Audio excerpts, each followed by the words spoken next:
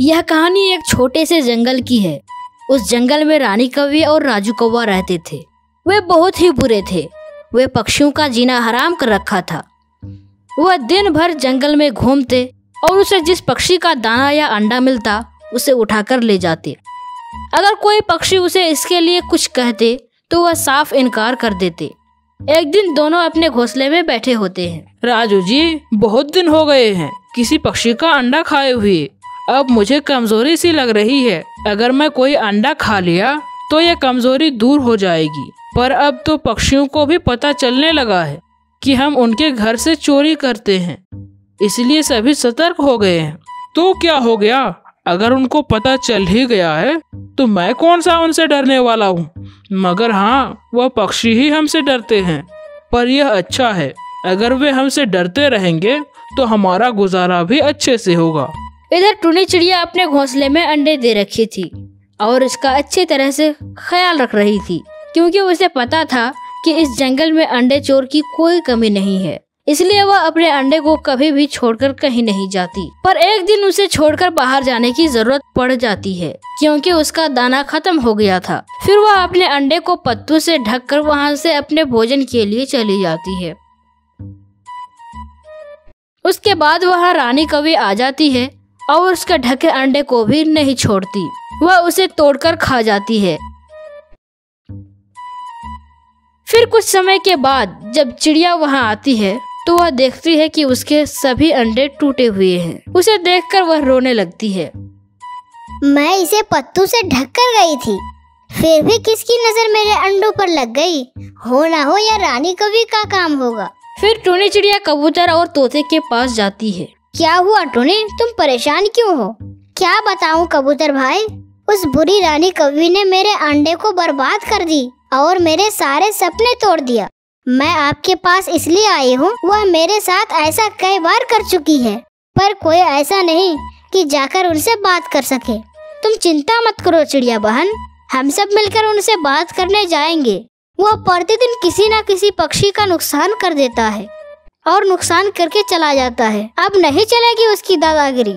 हम उसे इस तरह नुकसान करने नहीं देंगे। उसके बाद सभी पक्षी कौवे के घर जाते हैं। सारे पक्षियों को देखकर रानी कौवी थोड़ा सा आश्चर्य होती है।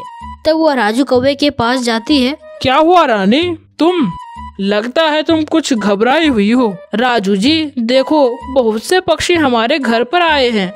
लगता है उन्हें हमारे करतूत का पता चल गया है। लगता है अब वे सभी जाग चुके हैं। अब क्या होगा? अरे कुछ नहीं होगा। ये सब तो हमसे डरते हैं। मैं भी देखता हूँ। ये क्या कर लेंगे हमारा? फिर सभी पक्षी दोनों के पास आ जाते हैं और तोता बोलता है हम सब तुमसे बात करने आए हैं। ये कौन सा तरीका है कि तुमने जंगल में सबका जीना हराम कर रखा है? अब हम ज़्यादा बर्दाश्त नहीं कर सकते। तुम ये सब छोड़ दो। नहीं तो सारा हिसाब अभी चुकता कर लेंगे। अब कोई ज़रूरत नहीं है इनसे आराम से बात करने की। मैं तो कहता हूँ कि उठाओ सब डंडे और इसे सीधा कर दो। फिर टूनी बोलती है। नहीं नहीं भाइयों तुम सब इस तरह से बात मत करो। हम इनसे लड़ाई करने नहीं आए हैं। मैं इनसे बात करती हूँ। रानी कवि क्या तुम्हें पता नहीं कि हम पक्षियों को अपने अंडों से कितना प्यार होता है? तुम खुद भी तो अंडे देती हो। फिर तुम कैसे मेरे अंडे को नुकसान पहुँचा सकती हो? अगर मेरे अंडों की जगह तुम्हारे अंडे होते और कोई उसे नुकसान पहुंचाता तो तुम्हें कैसा लगता?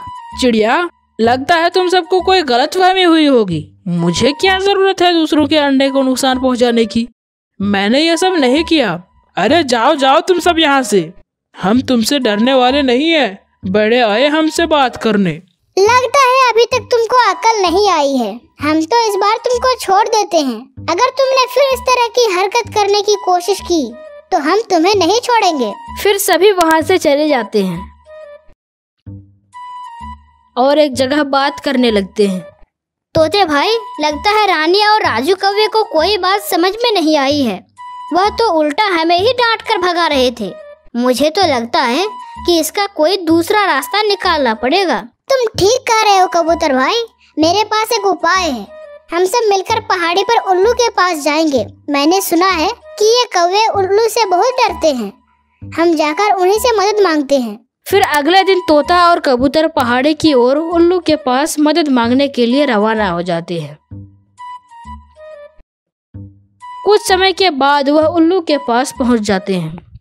उल्लू भाई हम बहुत लंबे सफ़र करके आपके पास आए हैं। हमारे ऊपर कौओं ने मुसीबत का पहाड़ तोड़ दिया है।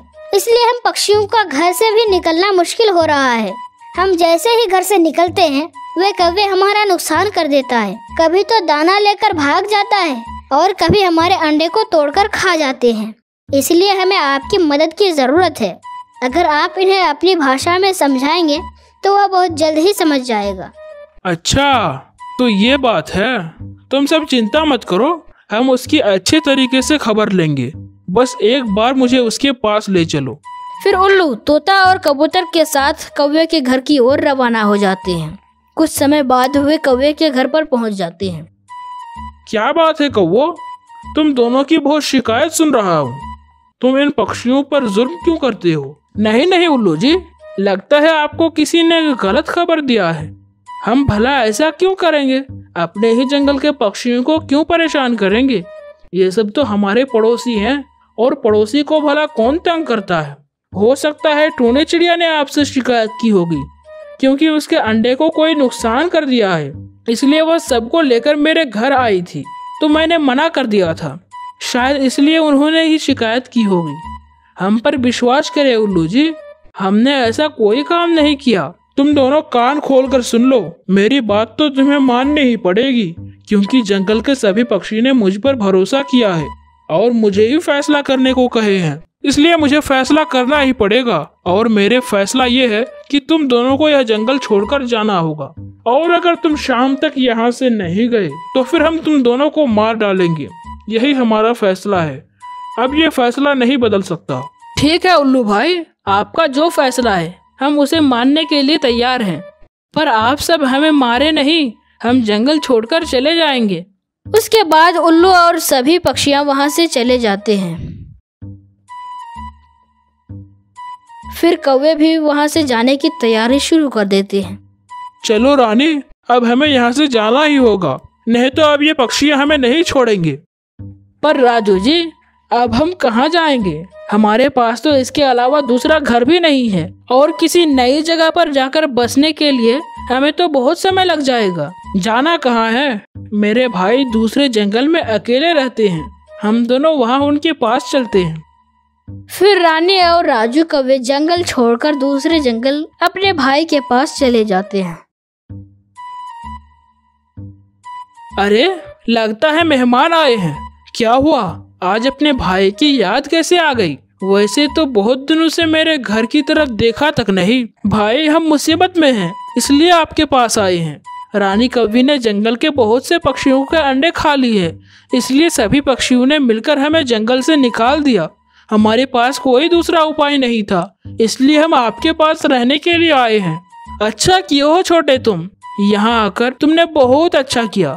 मेरा क्या? मैं तो यहाँ अकेला रहता हूँ। चलो अब बाकी के दिन अपने भाई के साथ बिताते हैं। मुझे भी बहुत अच्छा लगेगा। मैं बीमार हूँ, इसलिए मुझे भोजन लाने में काफ़ी परेशानियाँ होती है। इसलिए मैं चाहता हूँ कि तुम यही रहो और मेरे लिए भी थोड़ा थोड़ा भोजन लेकर आया करो। ठीक है बड़े भैया, अब हम अपने भोजन के साथ साथ आपका भी भोजन लेकर आएँगे। और हम सब एक जगह रहेंगे। फिर वे वहाँ रहने लगते हैं और अपने लिए और अपने बड़े भाई के लिए भोजन भी लाता है और अपना दिन गुजारने लगता है। फिर कुछ दिनों के बाद वे दोनों अपने भाई के घर के पास ही अपना घोंसला बना लेते हैं। अब राजू कौवा बहुत बदल जाता है। वह पहले जैसा बुरा कौवा नहीं रहता है। अपना अलग घोंसला बनाने के बाद भी वह अपने भाई के लिए भोजन लाता। फिर इस तरह कुछ दिन बीत जाते हैं। तब रानी कवि दो अंडे देती है। राजू जी, आज मैं बहुत खुश हूँ, क्योंकि मैंने बहुत दिनों के बाद अंडे दिया है। ये अंडे कितने खूबसूरत हैं। जब इस अंडे से बच्चे निकलेंगे तो कितना अच्छा लगेगा। अब मैं इसके अच्छी तरह से ख्याल रखूँगी, क्योंकि ये हमारे जान से भी प्यारा है। रानी, तुम इस अंडे का अच्छी तरह से ख्याल रखना। तुम इसे छोड़कर कभी बाहर मत जाना। आज से मैं तुम्हारे लिए भोजन लाऊँगा। तुम्हें बाहर जाने की कोई ज़रूरत नहीं है। एक दिन राजू कौवा भोजन लाने बाहर गया हुआ था। तभी रानी को बहुत ज़्यादा प्यास लग जाती है। तब वह बड़े भाई के पास जाती है। बड़े भैया मुझे बहुत प्यास लगी है और राजू भी भोजन लाने गए हुए हैं। इसलिए आप कुछ समय मेरे अंडे को देखें। मैं नदी से पानी पीकर आती हूँ। फिर रानी कवि बड़े भैया को अंडे के पास रख कर चली जाती है।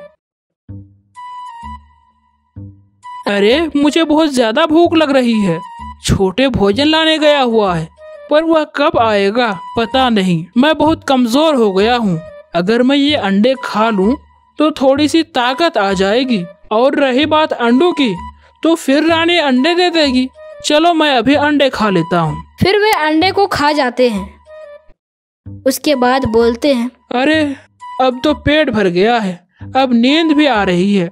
चलो अपने छोटे के घर पर ही कुछ देर आराम कर लेता हूँ। ऐसा कहकर वह वही सो जाता है। थोड़ी देर बाद जब रानी कवि अपने घोंसले में वापस आती है तो वह देखती है कि उसके अंडे तो टूटे हुए हैं और छिलका वही पड़ा है। तब वह बोलती है अरे आपने ये क्या किया? आपने मेरा ही अंडा खा लिया। आपको तो मैं अंडा की रक्षा करने के लिए रखा था। अगर मुझे पता होता तो मैं कभी आप पर भरोसा नहीं करती। वर्षों बाद मैंने ये अंडे दिया था और आपने उसे नुकसान कर दिया, मेरे सपने को तोड़ दिया। मुझे कमज़ोरी महसूस हो रही थी, इसलिए मुझसे रहा नहीं गया और मैंने तुम्हारे अंडे खा लिए। भला इसमें इतने रोने धोने वाली क्या बात है? अंडों का क्या? तुम फिर अंडे दे देना। यह कहकर वह वहाँ से चले जाते हैं और रानी कवि वहीं बैठे बैठे रोती रहती है। फिर कुछ समय के बाद राजू कौवा वापस घर आ जाता है। वह रानी को रोता देखकर परेशान हो जाता है। क्या हुआ रानी? इतना क्यों रो रही हो? और इन अंडों को क्या हो गया? इसे कौन तोड़ दिया? राजू जी ये तुम्हारे बड़े भैया का क्या धरा है। ये सब मैं उन पर भरोसा करके उनको यहाँ छोड़कर पानी पीने गई थी। अब मुझे एहसास हो रहा है कि जब मैं दूसरे पक्षियों का अंडा तोड़ती तो उसे कितनी तकलीफ़ हो रही थी। देखो ना कुदरत का करिश्मा हमें अपने किए का सजा मिल गया।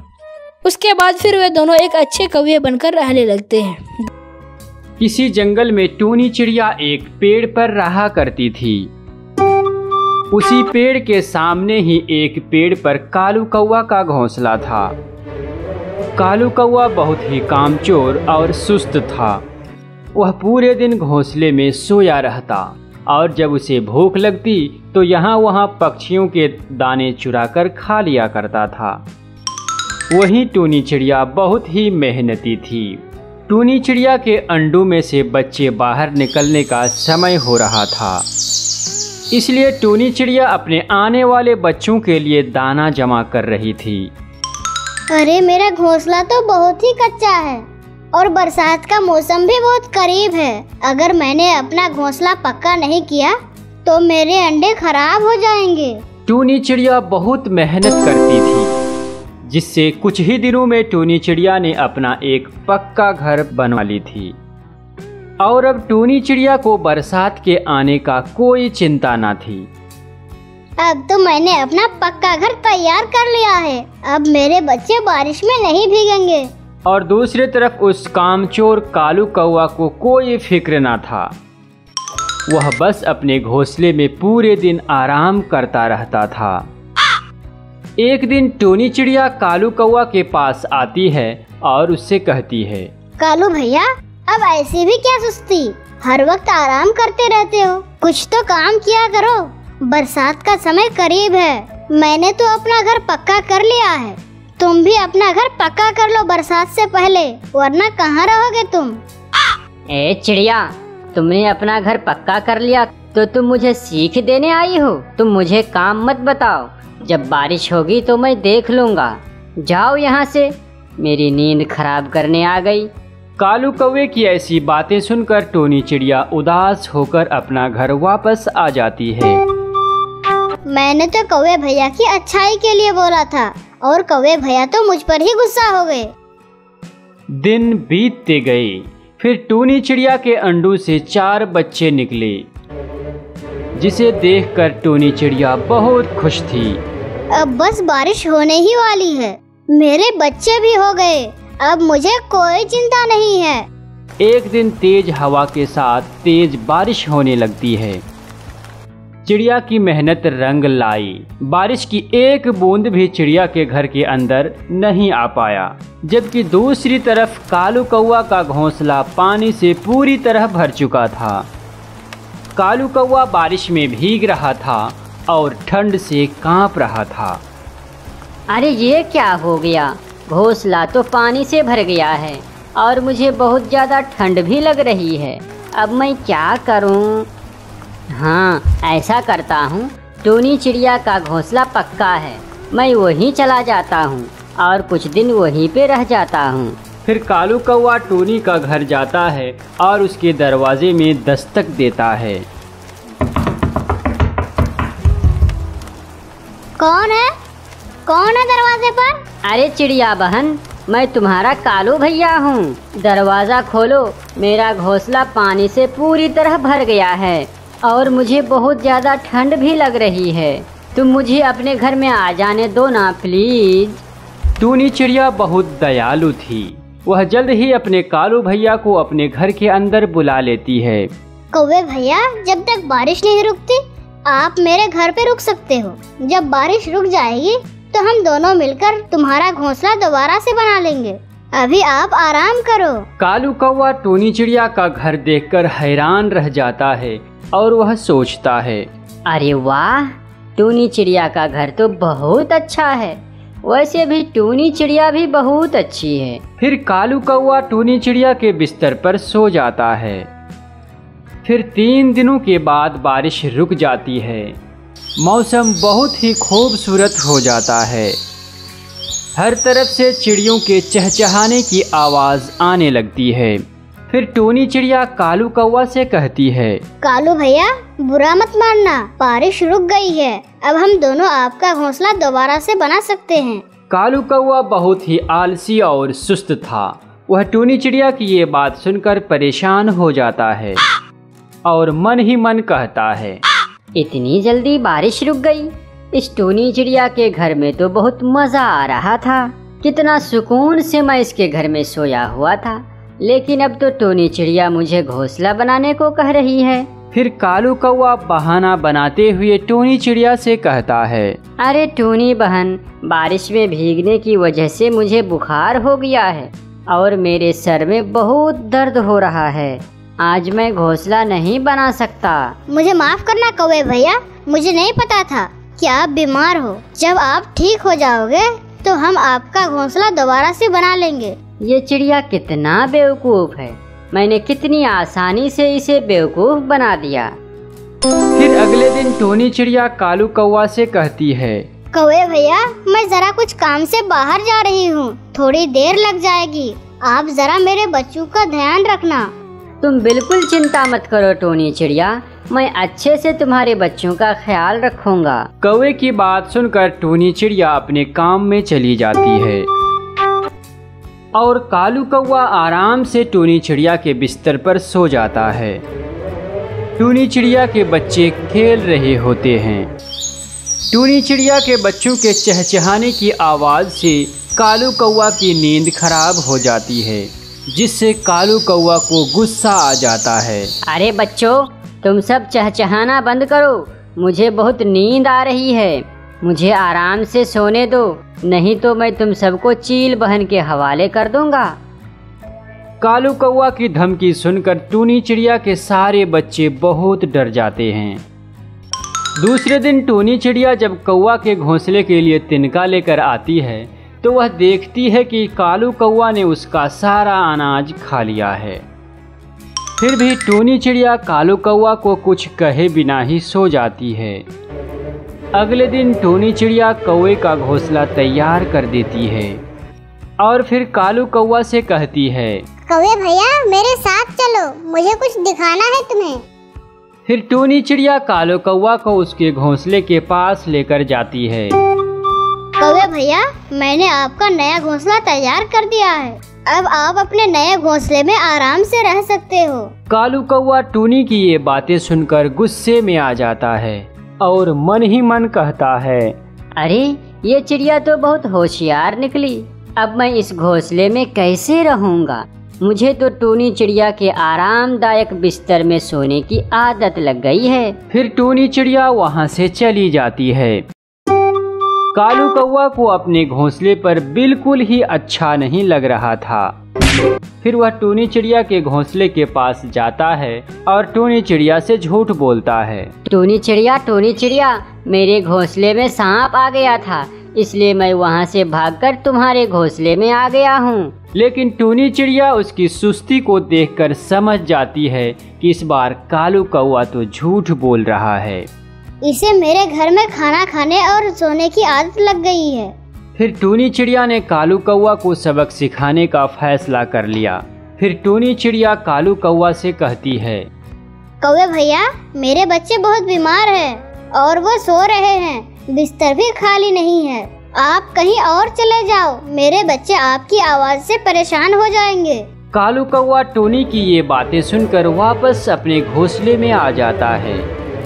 अरे इस टोनी चिड़िया को क्या हो गया? उसने अपने घर जाने से मुझे मना क्यों कर दिया? अब तो मुझे बहुत भूख भी लग रही है। अब मैं कहाँ से खाना खाऊं? कालू कौवा बहुत भूखा था, लेकिन उसे खाना ढूँढने में बहुत ही सुस्ती आ रहा था। अगले दिन फिर से कालू कौवा टोनी के घर के बाहर आता है।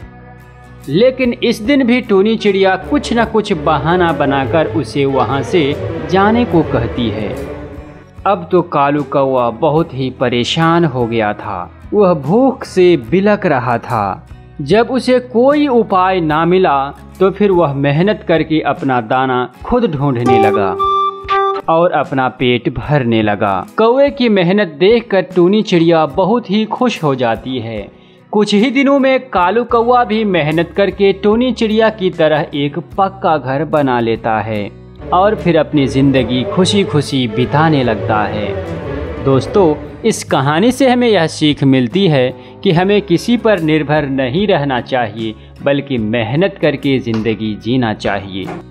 टूनी चिड़िया बहुत मेहनती पक्षी थी, इसलिए उनका एक अपना लकड़ियों का बिज़नेस था। देखो बेटा, आज तुम दाल खा लो, चावल मैं तुम्हें कल बना दूँगी। मम्मा, मुझे नहीं खाना खाना। और बस मुझे लकड़ियों का झूला चाहिए। आप मुझे लकड़ी का झूला बना दो। हाँ बेटा मैं बना दूँगी लकड़ियों का झूला। बरसात का मौसम भी आने ही वाला है। सारे पक्षी मुझसे अब घर बनवाएँगे। उसी जंगल में कालू कौवा भी रहता था। कालू कौवा टोनी के लकड़ियों के बिज़नेस से बहुत जलता था। पापा मानो चिड़े ने मुझे बताया है कि बरसात के मौसम में टोनी आंटी से सारे पक्षी घोंसला बनवाएँगे। तब तो टूनी आंटी के पास काफ़ी सारे पैसे आ जाएँगे और टूनी आंटी मानो चिड़े को एक लकड़ी का झूला बना देंगे। आप तो रोज़ाना थोड़ा सा भोजन लाते हो। आखिर मेरी ख्वाहिशें कौन पूरी करेगा? अरे बेटे तुम चिंता क्यों करते हो? तुम देखना मैं तुम्हें मानो चिड़िया से भी अच्छा झूला ला दूँगा। जाओ बेटे जाके पढ़ाई करो। तुम हमेशा बातों में लगे रहते हो। फिर राजू कौवा वहाँ से चला जाता है। कालू जी मैं टूनी चिड़िया से बहुत परेशान हूँ। टूनी चिड़िया हर बार अपने बेटे को कुछ न कुछ बना कर देती है। तो फिर राजू कौवा हमसे उसी चीज़ को मांगने की जिद करता है। काश टूनी चिड़िया ये लकड़ियों का कारोबार ही नहीं कर रही होती। रानी पिछले साल भी टूनी चिड़िया ने मुझे गंदम की चोरी पर चील महाराज से पकड़वा दी थी। मुझे उससे बदला लेना है और मैंने सोच लिया है। इस बार बरसात में मैं टूनी चिड़िया के लकड़ियों का व्यापार चलने ही नहीं दूँगा। मेरे पास बहुत बढ़िया बढ़िया उपाय है जिससे कोई भी पक्षी टूनी चिड़िया से अपना घर नहीं बनवाएगा। दूसरी तरफ़ जंगल की सारी पक्षियाँ टूनी चिड़िया के पास आते हैं। टूनी चिड़िया हर बार की तरह इस बार भी हम अपना लकड़ियों का मज़बूत घर बनवाने आए हैं। हाँ हाँ पक्षियों बहुत अच्छा हुआ। कि तुम सब यहाँ पर आ गए। मुझे तुम सब पक्षियों को कुछ बताना भी था। क्या हुआ टूनी चिड़िया? क्या बात है? पक्षियों, इस बार लकड़ियाँ काफ़ी ज़्यादा महँगी हो गई है। अगर आप सब चाहें तो दूसरे जंगल जाकर पता भी कर सकते हैं। मैं इस बार घर बनाने के थोड़े ज़्यादा पैसे लूँगी। अरे बाप रे बाप! टूनी चिड़िया, ये लकड़ियाँ तो दिन ब दिन महँगी होती जा रही है। लेकिन अब क्या करें? घर बनाना भी तो ज़रूरी है ना? ये लो टूनी चिड़िया। हम सब पक्षियों के पैसे हैं इसमें। कल से तुम हमारा काम शुरू कर देना। टूनी चिड़िया बहुत खुश हो जाती है क्योंकि अब उसके पास बहुत सारा काम आ गया था। अगले दिन कालू कौवा और रानी कौवी मिलकर मिट्टी के कुछ घर बना लिए थे। रानी अब देखना सारी पक्षियाँ अब मुझसे ही मिट्टी का घर खरीदेंगे जिससे टूनी चिड़िया के लकड़ियों का कारोबार फ़ौरन ही बंद हो जाएगा। वैसे कालू जी हमने ये मिट्टी के बहुत ही कच्चे कच्चे घर बनाए हैं। ये कभी भी टूट सकते हैं। इससे क्या फ़र्क पड़ता है रानी? हमने एक बार घर बेच दिया उसके बाद टूटे फूटे उससे हमें क्या लेना देना? अरे अरे पक्षियों आओ आओ जल्दी आओ। और ये सस्ते सस्ते मिट्टी के घर ले जाओ। कालू कौवे की आवाज़ सुनकर जंगल की सारी पक्षियाँ फ़ौरन उसके पास आ जाते हैं। अरे कालू कौवे क्या बात है? ये कौन सी मिट्टी के घर बेच रहे हो तुम? अरे जंगल की पक्षियों ये मिट्टी का घर है और मैं सिर्फ़ इसे पाँच रुपये ही में बेच रहा हूँ। क्या? सिर्फ़ पाँच रुपए में? लेकिन कालू कौवे टूनी चिड़िया तो हमारा घर पूरे पूरे बीस रुपए में बना रही है। हाँ तो तुम सबको नहीं पता। टूनी चिड़िया तुम सबको लूट रही है। मैंने पता कर लिया है। दूसरी जंगल में लकड़ियाँ सिर्फ़ और सिर्फ़ पाँच ही रुपये में मिलते हैं जबकि टूनी चिड़िया उस लकड़ी की कीमत दस रुपया बता रही है। इसका मतलब तो ये हुआ कि टूनी चिड़िया हम सभी पक्षियों को धोखा दे रही है। हाँ हाँ तोते तुम सब इस बार मुझसे ये मिट्टी का घर खरीद लो और टोनी चिड़िया से जाकर अपने अपने पैसे वापस ले लो। और फिर देखना टोनी चिड़िया को अपने किए की सजा मिल जाएगी। हम्म, कालू कौवा एकदम ठीक कह रहा है। चलो चलो पक्षियों हम एक एक करके अपना अपना मिट्टी का घर खरीद लेते हैं। और फिर क्या था? जंगल की सारी पक्षियाँ कालू कौवे की बातों में आकर एक एक मिट्टी का घर खरीद लेते हैं। टूनी चिड़िया तुम हम सब के सारे पैसे वापस करो। तुम धोखेबाज हो धोखेबाज। हम सब पक्षियों को हर बार बेवकूफ़ बनाकर हमसे पैसे लूटती हो तुम। परंतु अब कालू कौवे ने हमारी आँखें खोल दी है। अरे तोते, ये क्या कह रहे हो? क्या बात है? आखिर मुझे बताओ तो। टूनी चिड़िया, तुम सस्ती लकड़ियों को महँगे बता रहे हो और हमसे ज़्यादा पैसे लूट रहे हो। इसीलिए तो हम कालो कौवे से उसके बनाए हुए मिट्टी के घर खरीद लिए हैं। और वो भी पता है, सिर्फ़ और सिर्फ़ पाँच रुपए में। हाँ हाँ टूनी चिड़िया, जल्दी से हमारे पैसे वापस करो। टूनी चिड़िया सभी पक्षियों की बातें सुनकर बहुत उदास हो जाती है। ये लो पक्षियों आप सबके पैसे। लेकिन ये बात झूठ है कि मैं आप सबको धोखा दे रही फिर क्या था? अगले दिन ही जंगल में तेज बारिश शुरू हो जाती है। जंगल की सारी पक्षियाँ और कालू कौवा भी अपने अपने मिट्टी के घर में आराम से बैठे हुए होते हैं। तेज बारिश के कारण कच्चे मिट्टी के घर गीले हो जाते हैं और वो टूट जाते हैं जिससे जंगल की सारी पक्षियाँ बारिश में भीगने लगते हैं। इस तरह वे सारी पक्षियाँ बेघर हो जाते हैं। अरे अरे रानी ये क्या हो गया? पूरे घर तो बारिश में खराब हो गया। इसका मतलब जंगल की सारी पक्षियाँ भी बारिश में हम लोगों की तरह भीग रहे होंगे। अरे कालू जी ये तो बहुत बड़ी गड़बड़ी हो गई। अब तो सब पक्षी गुस्से में हमारी तरफ़ ही आ रहे होंगे। मैं तो कहती हूँ कि हम सब जल्दी से जंगल छोड़ के ही भाग जाते हैं। हाँ हाँ रानी तुम एकदम ठीक कह रही हो। चलो चलो भागो। जल्दी से राजू को लो और यहाँ से भागो। और फिर कालू कौआ का परिवार जल्द ही वहाँ से भाग जाते हैं। कुछ ही देर में जंगल की सारी पक्षियाँ कालू कौवे के घर में आ जाते हैं। सारी पक्षियाँ काफ़ी ज़्यादा गुस्से में होते हैं। देखो पक्षियों कालू कौवे का भी मिट्टी का घर खराब हो गया। कहाँ है ये कालू कौवा? लगता है भाग गया। वो कालू कौवा हमारे सारे पैसे लेकर यहाँ से भाग गया। धोखा दिया है उसने हमें। हाँ पक्षियों अगर हमने टूनी चिड़िया से अपना घर बनवा लिया होता तो आज हमारी ये हालत नहीं होती और हम सब बारिश में नहीं भीगते। तभी टूनी चिड़िया वहाँ से गुजर रही थी। उसने कालू कौवे के घर के पास जंगल की सारी पक्षियों को देखकर उसके पास आ जाती है। पक्षियों क्या हो गया है? ये बारिश में आप सब क्यों भीग रहे हैं? टूनी चिड़िया, हमें माफ़ कर दो। हमने कालू कौवे की बातों में आकर तुम्हें गलत समझा और तुम्हारे मज़बूत लकड़ियों का घर छोड़कर कालू कौवे का ये कमज़ोर घर खरीद लिया, जो जरा सी पानी लगते ही पूरी तरीके से खराब हो गए। और तो और, कालू कौवा हमारे सारे पैसे लेकर यहाँ से भाग गया। आखिर हम सब पक्षी जाएँ तो कहाँ जाएँ? पक्षियों, तुम सब कालू कौवे की बातों में आकर मुझ पर भरोसा नहीं किया, और मुझे ही आप लोगों ने धोखेबाज कहा।